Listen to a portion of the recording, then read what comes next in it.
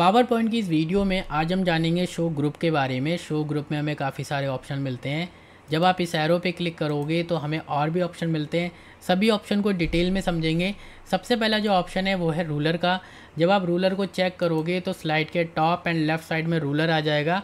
और रूलर की यूनिट की मदद से आप अपने टेक्स्ट बॉक्स या शेप को ड्रॉ कर सकते हो। तो मैं यहाँ पर इसको अनचेक कर देता हूँ तो रूलर हमारा चले जाएगा। ग्रिड लाइंस को चेक करोगे तो हमारे स्लाइड के अंदर ग्रिड लाइंस आ जाएगी। ग्रिड लाइंस की मदद से आप अपने शेप या टेक्स्ट बॉक्स को ड्रॉ कर सकते हो। ग्रिड लाइंस को हाइड करना है तो आप इसको अनचेक कर दीजिए, आपकी ग्रिड लाइंस हाइड हो जाएगी। इसके बाद गाइड्स पे क्लिक करोगे तो यहाँ पर आपको गाइड्स मिल जाती है। गाइड्स की मदद से आप अपने शेप या टेक्स्ट बॉक्स को ड्रॉ कर सकते हो। अगर आपको गाइड्स नहीं चाहिए तो आप इसे अनचेक कर दीजिए।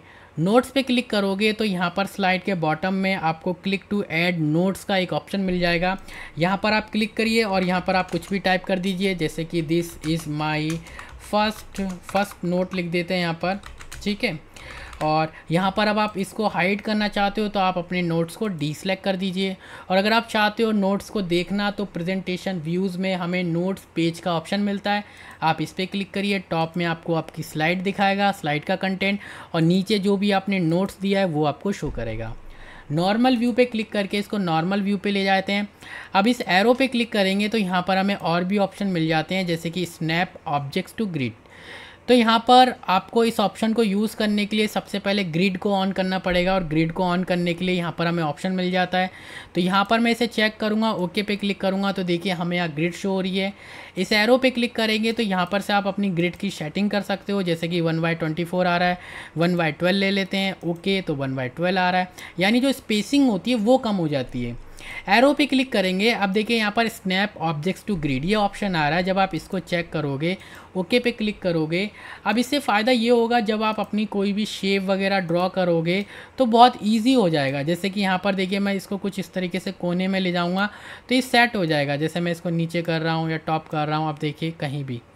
ठीक है स्नैप टू ग्रिड्स तो ये एक तरीके से मैग्नेटिंग की तरह वर्क करता है। एरो पे क्लिक करते हैं। इसके बाद देखिए, मैं इसको अनचेक कर रहा हूँ और यहाँ पर ये जो हमारी डिस्प्ले ग्रिड है, इसको भी हाइड कर दे रहा हूँ और ओके और ये जो शेप है, इसको भी मैं अभी डिलीट कर रहा हूँ। इसके बाद देखिए, जो हमारे पास थर्ड ऑप्शन है, वो है drawing display drawing guides on screen तो ये वही है जो गाइड्स हम शो कर रहे थे यहाँ से। तो यहाँ पर मैं इसको चेक करूँगा ओके तो यहाँ पर ये गाइड्स आ जाएगी। आप इन गाइड्स को लेफ़्ट एंड राइट मूव कर सकते हो। टॉप एंड बॉटम मूव कर सकते हो। अगर आपको गाइड्स हटानी है तो आप यहाँ से भी हटा सकते हो। इसके बाद देखिए यहाँ पर display smart guides when shapes are align तो यहाँ पर कुछ स्मार्ट गाइड्स मिलते हैं जब हम अपनी शेप को अलाइन करते हैं। जैसे कि यहाँ पर मैं होम टैब में गया और यहाँ पर मैं एक शेप बना रहा हूँ। तो देखिए, जब मैं इसको सेंटर ला रहा हूँ, जैसे मैं सेंटर लाया तो देखिए यहाँ पर वर्टिकली आ रही है, इसके अलावा यहाँ पर देखिए हॉरिजॉन्टली आ रही है। तो ये कुछ स्मार्ट गाइड्स होती हैं। जैसे कि यहाँ पर मैं एक और शेप ड्रॉ करूँगा तो यहाँ पर ये मुझे इसका सेंटर बताएगा।